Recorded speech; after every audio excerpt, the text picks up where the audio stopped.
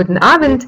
Ich bin Nadja Blus. Ich möchte gerne heute vorstellen Kerstin Schachinger von Lingua TV und heute geht es um Videos und das Thema lautet, wie bringen wir Videos ins Klassenzimmer?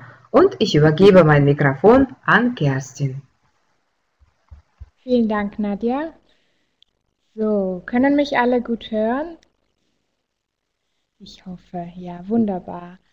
Also herzlich willkommen zum heutigen Webinar. Wie Nadja schon gesagt hat, mein Name ist Kerstin und ich bin von der Firma Lingua TV. Ähm, ich möchte mich gleich mal bedanken bei allen von euch, die bei unserem Videowettbewerb mitgemacht haben zum Thema das lustigste deutsche Wort.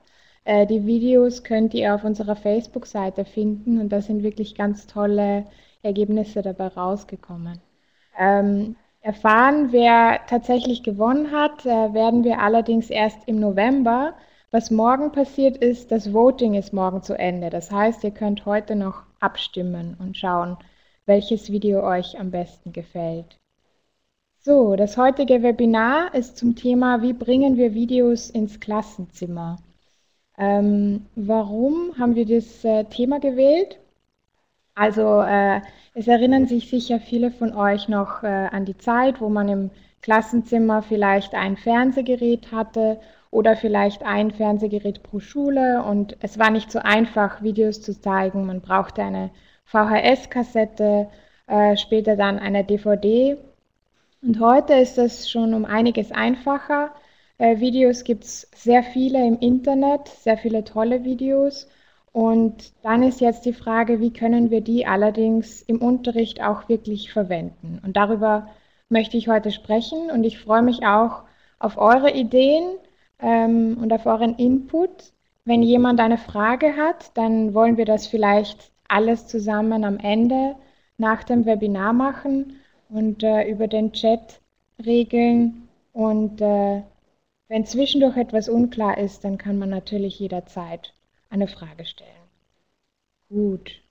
Ähm, hier sieht man sozusagen, was wir, was wir besprechen werden. Also äh, zuerst mal geht es darum, wie können wir Videos im Klassenzimmer abspielen, welche Technik brauchen wir, welche Kabel brauchen wir und welche Tricks gibt es, wenn man vielleicht nicht die, die tollste Technik schon im, im Klassenzimmer hat.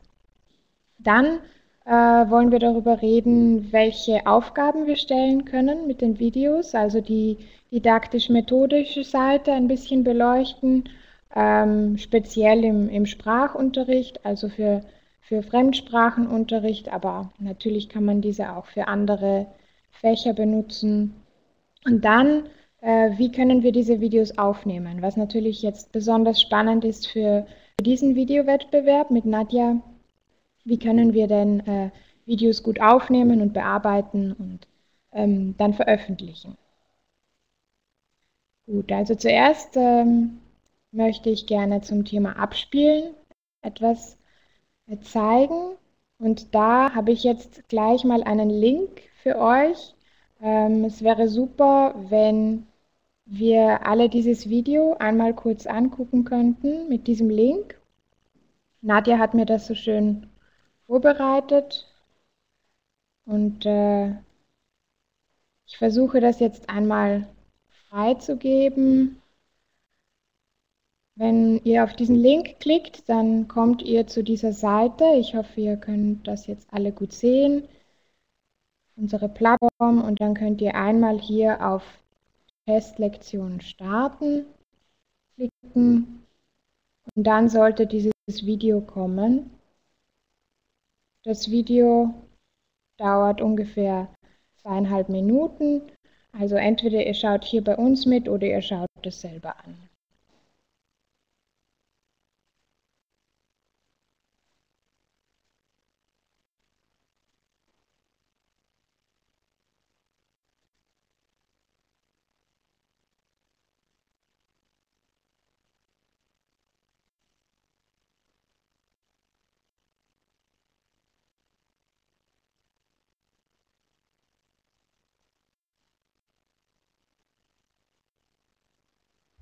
Kerstin, kann ich fragen, sollten wir auch das Audio hören, nicht wahr?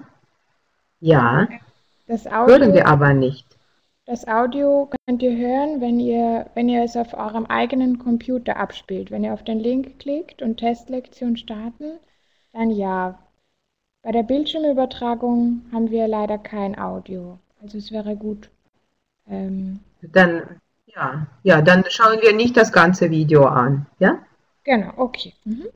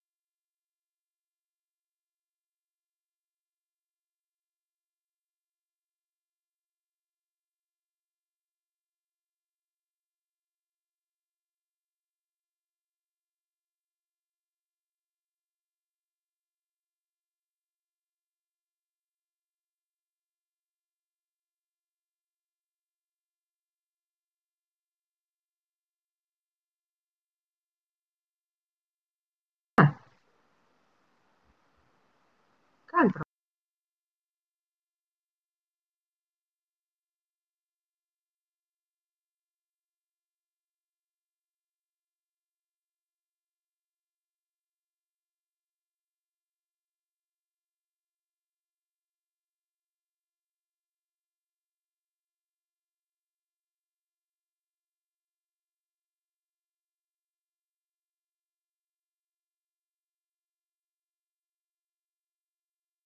Und ich habe jetzt angefangen, dass erstens, wir haben äh, angefangen mit äh, der Präsentation von Linga TV und viele von euch kennen das, Katja und Alex und natürlich haben auch im Unterricht eingesetzt.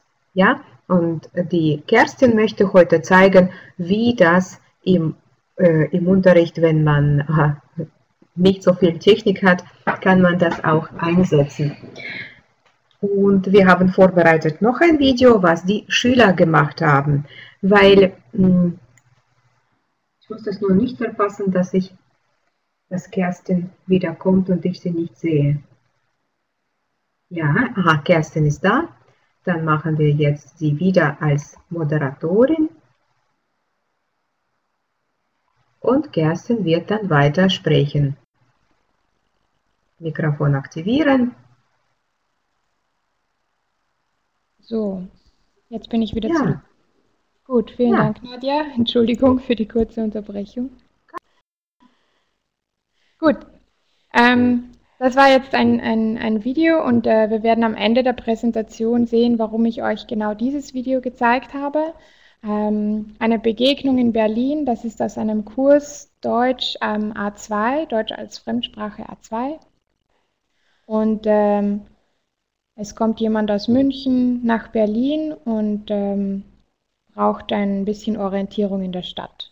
Das war jetzt mal das Video. So, wie können wir jetzt dieses Video im Unterricht zeigen? Also tatsächlich den Schülern äh, und Schülerinnen zeigen. Und hier ähm, möchte ich ganz kurz unterscheiden zwischen, zwischen kleinen Gruppen und größeren Gruppen. Wenn wir kleine Gruppen von Studierenden haben, also ich würde mal sagen äh, fünf Leute ungefähr, fünf, sechs Leute, ähm, dann kann man eigentlich ganz gut mit, mit Tablets arbeiten. Ähm, Tablets lassen sich zum einen gut einsetzen, wenn man einfach eines hat und alle können darauf schauen, weil es nicht zu viele Leute sind und daran äh, eventuell noch Lautsprecher anschließen, wenn äh, das Audio ansonsten nicht so gut ist. Ähm, was man auch noch machen kann, ist, dass man über verschiedene Applikationen den Inhalt von diesem Tablet, was da abgespielt wird, äh, auch auf andere Tablets überträgt. Das heißt, äh, ich bringe als, als Trainerin mein Tablet mit, ähm, habe da eine Internetverbindung, kann damit auf, auf ein Video zugreifen im Internet und kann dann über, über eine Applikation das mit den Tablets der Studenten teilen, wenn die auch eines dabei haben. Ähm, das eignet sich eigentlich ganz gut in Gruppen, die technisch sehr gut ausgestattet sind und die sich dann freuen, wenn sie, wenn sie ihr äh, Tablet im Unterricht auch verwenden dürfen. Äh, das ist natürlich aufregend und macht, macht gleich nochmal viel mehr Spaß. Ähm, also hier wären jetzt als Beispiele Air Display, äh, TeamViewer oder JoinMe. JoinMe ist ähm, keine Applikation, sondern eine Internetseite, wo man ganz einfach ähm, sozusagen einen Link freigeben kann und ohne sich zu registrieren eigentlich können das dann die Studenten mitschauen und das ist wie eine Bildschirmübertragung. Ähm, Habe ich selber erst vor kurzem entdeckt und hat mir ganz gut gefallen und natürlich gibt es auch noch einige andere Applikationen, die dabei helfen können. Ähm, wenn man größere Gruppen hat, wird das natürlich dann schon ein bisschen komplexer. Das heißt, da gibt es jetzt verschiedene Möglichkeiten, das über einen Beamer zu zeigen. Also entweder ein Beamer mit einem Laptop oder man schließt ein Tablet an einen Beamer an oder ein Smartphone an einen Beamer. Es gibt da eigentlich alle Möglichkeiten. Und ähm, ich wollte jetzt ganz kurz zeigen, welche Verbindungen denn ähm, sozusagen nützlich sind, was wir wissen sollten und wie wir, wie wir am ehesten alle unsere Geräte mit einem Beamer verbinden können. Ähm, es gibt mal zwei wichtige Verbindungen. Das eine ist die VGA-Verbindung und das andere die HDMI-Verbindung. Ich zeige euch das jetzt gleich mal. Zum Beispiel, wenn wir ein Smartphone mit einem Beamer verbinden möchten, brauchen wir äh, meistens ein Micro-USB oder ein Mini-USB-Kabel für, für das Handy, für das Smartphone und dann auf der anderen Seite ein HDMI-Kabel, um das ähm, an den Beamer anzuschließen. Wenn wir einen Laptop anschließen möchten, dieses Kabel kennen wahrscheinlich viele von euch, brauchen wir eine VGA-Verbindung müssen wir einfach schauen, ob unser Laptop auch diesen Anschluss hat und das kann man dann direkt an den Beamer anschließen.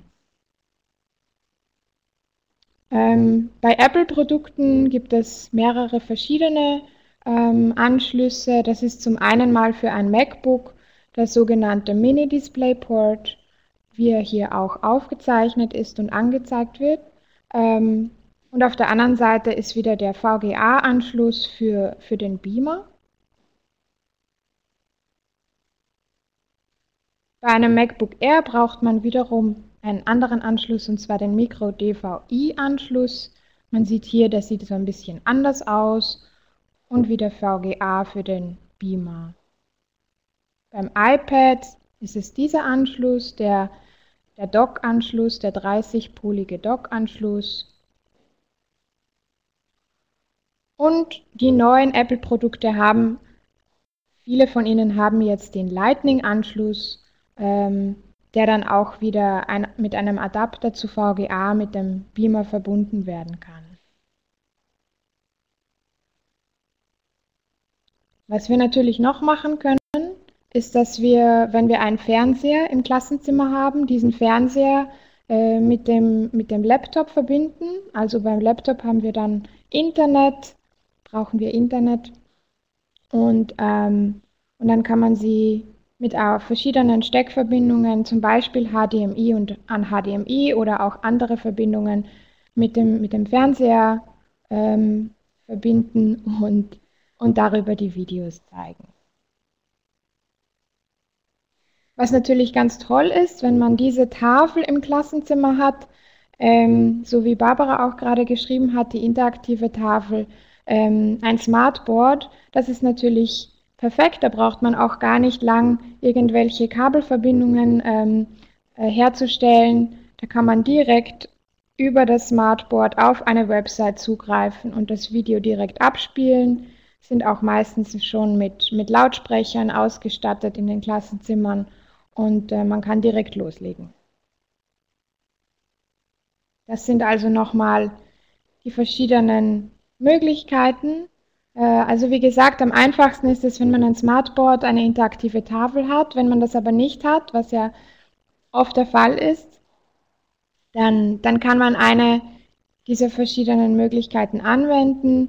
Ähm, es gibt natürlich auch noch mehr. Es gibt auch tatsächlich sehr kleine Beamer, ähm, die man sozusagen in die Tasche stecken kann und mitnehmen kann und an die Wand projizieren kann. Ähm, da hat man allerdings äh, von der Lichtqualität, ähm, die, sind die meistens nicht so gut. Äh, sie sind natürlich auch möglich, aber tatsächlich ein bisschen teuer. Wenn man das also selber als, als Trainer besorgen muss, ist wahrscheinlich der Aufwand ein bisschen groß. Ähm, und die Qualität dann tatsächlich für den Preis vielleicht nicht unbedingt die beste, äh, besonders wenn es um Videos geht, wo man doch die Farben ähm, sehr schön sehen sollte und die, die Leute, die Menschen, die Gesichter eigentlich gut sehen sollte, eignen sich dann doch eigentlich andere ähm, Geräte besser, würde ich sagen. Gut. Ähm, das waren jetzt mal die verschiedenen Möglichkeiten, wie wir das tatsächlich zeigen können. Und die Frage ist natürlich jetzt, was machen wir dann, wenn wir das Video gezeigt haben oder was machen wir vor dem Video, nach dem Video. Und da wollte ich ähm, über ein paar Möglichkeiten sprechen, die Aufgaben, die wir den Studierenden stellen können. Ähm, was, was natürlich immer sehr wichtig ist, ist, dass ähm, die Studierenden den Kontext erfassen können und das dauert meistens ähm, ein paar Schritte. Das heißt, ein Video einmal abzuspielen ist auch meistens nicht genug. Also zwei bis dreimal ist ganz normal, vor allem wenn es ein Video ist, wo die Sprechgeschwindigkeit eine authentische Sprechgeschwindigkeit hat. Ähm, das heißt, um den Inhalt Schritt für Schritt erfassen zu können, kann man zum Beispiel mal die Szenen in eine richtige Reihenfolge bringen lassen, nachdem man es einmal angesehen hat, vielleicht Fotos ausdrucken ähm, und sie in die richtige Reihenfolge bringen lassen oder äh, Textepisoden zuordnen lassen wir haben zum Beispiel auf unserer Plattform von Lingua TV immer ein Transkript von jedem Video, das man sich als PDF herunterladen kann. Und dann kann man das zum Beispiel in einzelne Teile schneiden und den Studierenden geben, dass sie erstmal das richtig in die richtige Reihenfolge bringen müssen. Was man auch machen kann, ähm, ist den Film noch einmal in kleinere Szenen zu unterteilen. Also dieser Film hat ungefähr zwei, zweieinhalb Minuten gehabt, aber trotzdem gibt es noch einzelne Episoden, einzelne Themen, wie man den Film nochmal unterteilen kann. Und diesen Szenen kann man nochmal neue Titel geben und die Studierenden wirklich äh, motivieren, sich, sich da kreativ nochmal unter Überschriften auszudenken.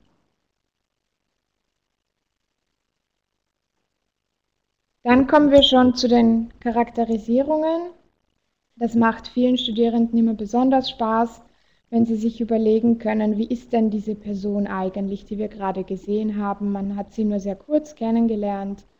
Welche Charaktereigenschaften könnte sie haben? Ähm, da kann man sehr gut Wortschatztraining für Adjektive und Adverbien machen, wenn man, wenn man Sprachen unterrichtet. Ähm, man kann das mündlich machen, man kann das schriftlich machen, im Plenum machen, in Gruppen machen. Da gibt es eigentlich alle Möglichkeiten. Und ganze Texte schreiben lassen eigentlich. Ähm, da haben viele Studenten immer sehr viel Spaß dabei. Gut, dann äh, komme ich jetzt zum Storyboard. Entschuldigung. Ähm, Storyboard ist etwas, was in der Videoproduktion auf jeden Fall eine sehr große Rolle spielt. Also jetzt auch für euren Videowettbewerb sicher ähm, wichtig ist und was aber gleichzeitig den Studenten immer sehr viel Spaß macht. Und zwar ist es eigentlich eine sehr simple Aufgabe. Man gibt den, den Studenten ein Raster von, von äh, quadratischen leeren Flächen, wo nichts drinnen steht, also wirklich nur die Quadrate, vielleicht sechs ähm, zusammen, also drei nebeneinander und lässt sie die Geschichte, die sie sich ausdenken, die Geschichte, die sie als Film darstellen möchten, aufzeichnen. Das heißt, da wird auf dem Papier erstmal keine Sprache verwendet, aber natürlich muss darüber diskutiert werden. Das heißt, es ist ein, ein sehr guter Gesprächsanlass. Es muss darüber diskutiert werden, welche Charaktere, welche Geschichte, wo, wie, warum und wann. Und dann muss auch darüber gesprochen werden, ähm, wie das denn aufgenommen werden soll. Also tatsächlich die Kameraperspektive. Was sehe ich und warum? Wie baut sich, wie baut sich so ein Film auf? Ähm, macht es denn Sinn, wenn ich zuerst nur die Beine sehe und dann die Tür sehe? Wie ist da die Verbindung? Ähm, diese diese Art, dieser Prozess ist ein sehr spannender Prozess.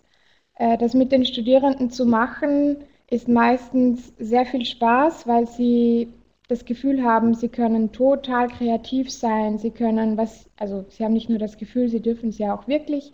Ähm, und sie haben sehr viel Freiheit.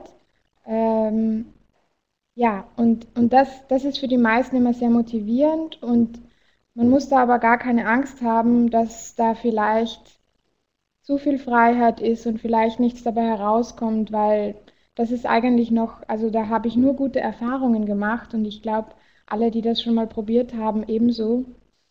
Ähm, und daraus, das ist sozusagen dann die Basis für den tatsächlichen Film. Das heißt, das Storyboard nimmt man dann auch so und nimmt es als Anleitung dafür, was man dann aufnimmt. Und das hilft dann auf jeden Fall sehr viel, wenn man dann die Kamera oder das Smartphone in der Hand hat, nochmal zu wissen, ah, okay, jetzt muss ich sozusagen von dieser Perspektive filmen, jetzt muss ich ähm, den Kopf sehen, jetzt muss ich die Beine sehen und ich darf nicht vergessen, ein Schnittbild aufzunehmen, wo man nur das Haus sieht und sonst niemanden, weil das brauche ich auch, um die Geschichte zu verstehen. Gut, ähm, genau, also Nadja fragt jetzt nochmal, alle Szenen sollten gemalt werden. Also ich würde sagen, ähm, das kommt ganz auf den Unterricht an, wie viel Zeit man hat, wie viel Detail man da hineinstecken möchte oder kann. Also es, es muss natürlich jetzt nicht jede einzelne Szene aufgemalt werden, weil man kann ja dazwischen auch noch so ein bisschen Freiraum lassen, dann bei der tatsächlichen Produktion, also wenn, wenn man eine wirkliche Filmproduktion macht, ähm, dann ist es natürlich was anderes, dann muss das schon detailliert sein. Wenn man das im Unterricht macht, bin ich da immer so ein bisschen lockerer, weil ähm, tatsächlich, wenn etwas fehlt, dann ist es nochmal ein Anlass, kreativ zu sein und nochmal ein Anlass, ähm, das auszudiskutieren, wenn man wirklich die Kamera in der Hand hat. Ähm, für ein Storyboard ein Muster, das kann ich gerne machen. Ähm, das ist tatsächlich, also hier auf dem Foto könnt ihr das ja sehen. Ähm, das, äh, man kann auch sehen, man muss jetzt nicht sehr begabt sein beim Zeichnen. Also das habe ich gemacht, das ist jetzt nicht die große Zeichenkunst. Das soll sozusagen das Storyboard sein, nachgemacht für, für ähm, den Film, den wir gerade gesehen haben. Am Anfang sieht man die Beine, dann sieht man die Tür, dann sieht man Katja und Alex, wie sie zusammenstoßen, dann sitzt Katja am Boden, ähm, dann sitzen beide am Boden, also nochmal von, von weiter weg und dann äh, sprechen sie miteinander. Das heißt, das ähm, Muster wäre sozusagen wirklich nur diese Quadrate. Ähm, das kann ich gerne entwerfen und auch euch schicken. Vielleicht kann ich das Nadja schicken und sie kann das weiterleiten. Gut, was kann man noch machen? Ähm, wenn man einen Film angeschaut hat und mit einem Video arbeitet, äh, kann man die Studierenden das nachstellen lassen. Und zwar was ganz lustig ist, das hat mir eine Kollegin von mir verraten, die auch hier bei Lingua TV arbeitet.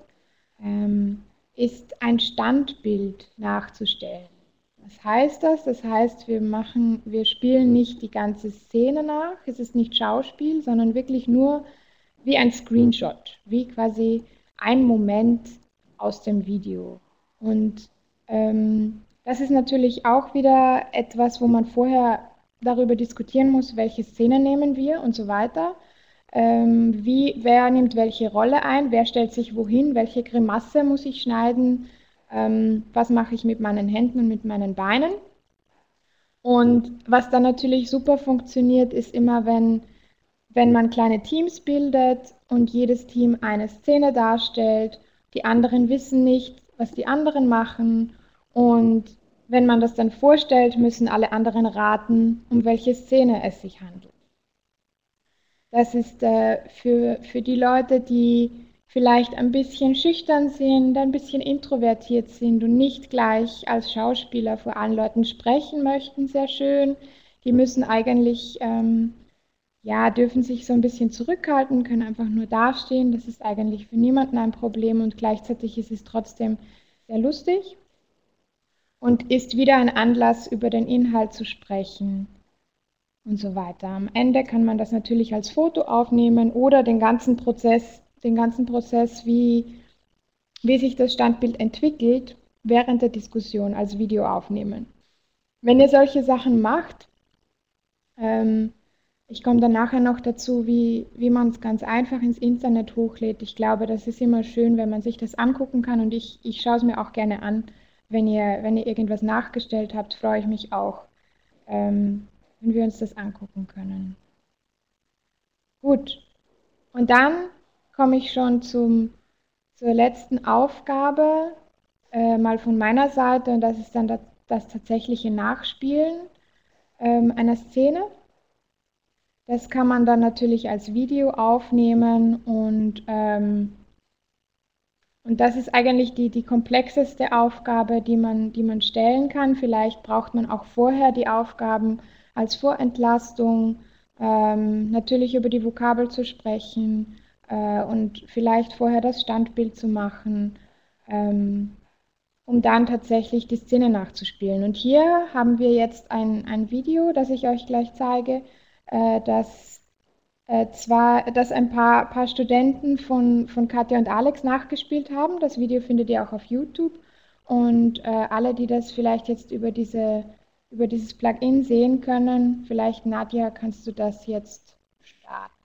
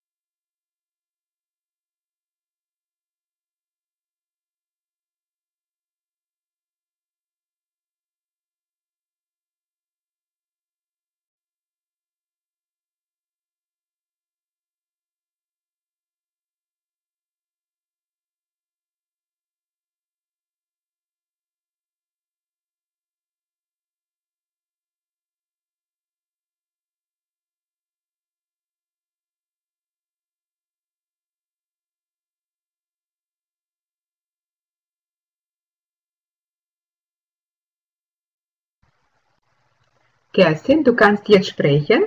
Ja, bitte. Okay, gut. Ähm, hat das funktioniert? Also das Plugin hat nicht funktioniert, glaube ich. Ne? Man musste auf den Link klicken. Ich hoffe, ein paar Leute haben das gesehen. Gut. Also wenn ihr es nicht, jetzt nicht gesehen habt, das Video ist auf YouTube. Es ist auf jeden Fall sehr lustig. Die, die Jungs haben das, haben das nachgespielt und einen ganz tollen Job gemacht.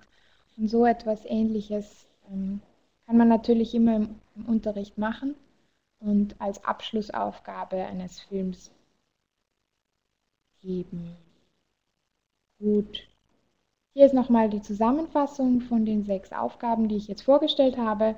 Ähm, man kann mal zu Beginn die Szenen in die richtige Reihenfolge bringen lassen, vielleicht mit Bildern und Fotos, von, mit Screenshots von, von Szenen, vielleicht mit Textausschnitten, mit dem Transkript. Man kann den Szenen unter Überschriften geben, also noch einmal eigene Titel für bestimmte Abschnitte. Äh, Charakterisierungen eignen sich eigentlich immer sehr gut und sind eigentlich eine größere Aufgabe, die auch mehr Zeit in Anspruch nimmt. Ähm, ein Storyboard ist das, äh, wo man sehr kreativ sein kann, wo man tatsächlich eine sehr lange Unterrichtseinheit damit gestalten kann oder auch über mehrere Unterrichtseinheiten hinweg arbeiten kann. Das als Vorlage äh, werde ich das äh, Nadja schicken, die das dann weiterleitet. Und wenn da jemand eine Frage hat, könnt ihr auch jederzeit gerne ähm, ein E-Mail schreiben. Ich schreibe das dann vielleicht nochmal meine E-Mail-Adresse auch auf. Ähm, ein, ein Standbild nachzustellen ist dann, wie gesagt, die Vorstufe zum, zum Schauspiel, äh, wo man noch ein bisschen weniger Zeit braucht und trotzdem das sehr lustig und sehr interaktiv ist und wo die anderen Gruppen raten müssen, welche, welche Szene man hier gerade nachspielt und dann natürlich das Video nachzuspielen. Ist dann immer die größte Herausforderung und am lustigsten und man lernt und übt zu sprechen. Gut, dann kommen wir jetzt zum zweiten Teil der, der, des Webinars und das ist, wie nehmen wir denn jetzt Videos am besten auf? Und zwar ist da jetzt die große Frage, würde ich mal sagen, welches Gerät benutzen wir? Brauchen wir eine Digitalkamera? Welche Digitalkameras sind äh, leicht zu bedienen, schwer zu bedienen? Was sind Vor- und Nachteile?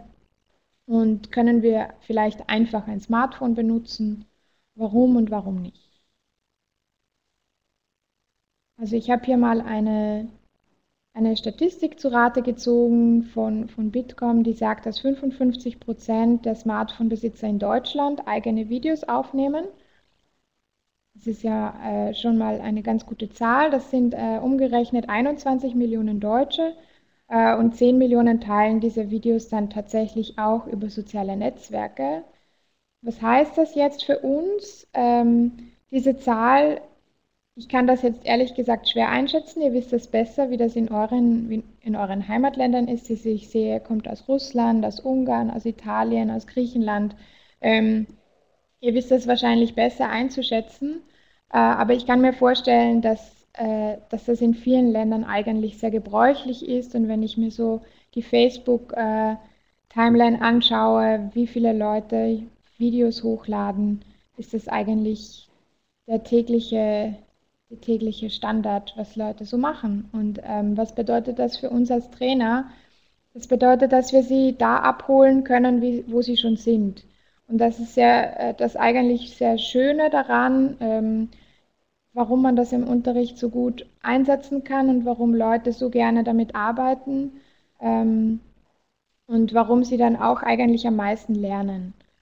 Äh, die Leute in ihrer Lebenswelt abzuholen, ist, äh, ist manchmal nicht so einfach, gerade wenn es immer neue Trends gibt und neue Technologien gibt. Und da ist der Einsatz von Videos und das eigene Arbeiten damit eigentlich eine, eine super Alternative oder eine super Lösung. Ähm, jetzt zum Thema Smartphone und Handy. Also äh, viele Handys können tatsächlich in HD-Qualität aufnehmen. Was heißt das? HD-Qualität sind 1280 x 720 Pixel. Und das ist eine auf jeden Fall ausreichende Qualität und super Qualität für, sage ich mal, YouTube oder, oder andere Vimeo, andere Kanäle, wo man schon eine sehr gute Qualität hat, eine sehr gute Auflösung hat von den Videos. Äh, manche können sogar in Full HD aufnehmen, was dann äh, 1920 mal 1080 Pixel sind und was dann sozusagen ähm, eine wunderbare, wunderbare Auflösung. Äh, was will ich damit sagen? Die Frage ist eben, wie gesagt, brauchen wir eine Digitalkamera oder ähm, reicht ein Smartphone? Ähm, bei den Digitalkameras kann man eben auch gucken, welche Auflösung nehmen Sie auf, nehmen Sie HD oder Full HD auf, ähm, welche verschiedenen Digitalkameras gibt es. Also das, was ihr hier seht, das Foto im Hintergrund ist ähm, eine digitale Spiegelreflexkamera, eine DSLR-Kamera, die nicht nur Fotos machen kann, sondern auch Videos. Also die meisten von, von den DSLR-Kameras, die man heute kauft, können auch schon Videos aufnehmen und zwar in einer wirklich, wirklich super Qualität. Also Full HD ähm, mit allen möglichen Einstellungen und ähm, wirklich Tipps, also allen möglichen Tricks und Filtern, die man da noch drüber legen kann. Was äh, immer hilfreich ist, ist die Programmautomatik, wenn man nicht so viele Einstellungen machen möchte. Und ich glaube, für den Unterricht ist das völlig ausreichend. Die Digitalkameras nehmen auf eine SD-Karte auf, also eine Speicherkarte, eine SD-Karte. Das heißt, wir müssen die Daten von dieser SD-Karte auf den Computer bringen. Das heißt, wenn wir mit einer Digitalkamera aufnehmen, brauchen wir noch den Computer, um das Video zu bearbeiten. Ähm, meistens dann ein, ein Schnittprogramm, also ein Programm, womit wir diese Videos dann schneiden können. Und da äh, ist es dann tatsächlich so, dass es schon ein bisschen komplizierter wird, je nachdem, welches Betriebssystem man hat. Äh, bei, bei Apple gibt es ja das iMovie, äh, wo ich ehrlich gesagt gar nicht, gar nicht äh, so viel darüber sagen kann, weil ich das selber nicht nütze. Aber ich habe äh, mitbekommen, dass es manchmal mit dabei ist. Ähm, und dann bei, ja, je nachdem, welches Betriebssystem, wie gesagt, gibt es verschiedene Schnittprogramme. Damit muss man sich dann tatsächlich auseinandersetzen. Das heißt, es ist einfach ein extra Zeitaufwand und auch ein extra Aufwand, diese Videos zu schneiden. Da muss man sich überlegen, möchte ich das übernehmen? Möchte ich diese Aufgabe übernehmen als, als Trainer? Oder kann ich das an die Studenten abgeben, weil wir in der Schule Computer haben, wo man diese Programme installieren kann und das noch zusätzlich als eine, als eine Aufgabe gibt? Wenn man eine DSLR-Kamera benutzt, also eine der größeren, sage ich mal, Spiegelreflexkameras, braucht man ein Stativ. Warum? Wenn ich diese Kamera in der Hand halte, werde ich automatisch ein bisschen zittern und das ist nicht so gut fürs Bild. Das heißt, ich brauche auch noch zusätzlich ein, ein Stativ dafür. Ähm, ein externes Mikrofon kann man anschließen an DSLR-Kameras. Das ist sehr gut für die Tonqualität. Das kann man zum Beispiel oben, also oben auf die Kamera drauf, mit, äh, wo man auch einen, einen extra Blitz draufstecken kann, kann man auch ein, ein Mikrofon draufstecken ähm, und hat dann eine sehr gute Tonqualität, wenn man Dialoge aufnimmt und, und Gespräche aufnimmt.